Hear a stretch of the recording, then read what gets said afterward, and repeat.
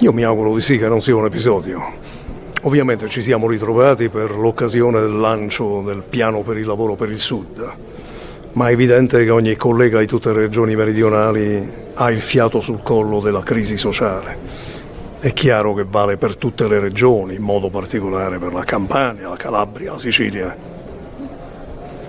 La necessità di, di trovare lo sbocco lavorativo a decine di migliaia di ragazze e di ragazzi la molla fondamentale è questa. Poi è chiaro che siamo tutti consapevoli, tutti i colleghi di tutte le regioni del sud sanno quanto sia complicata la contrattazione a livello nazionale quando dobbiamo fare il riparto delle risorse.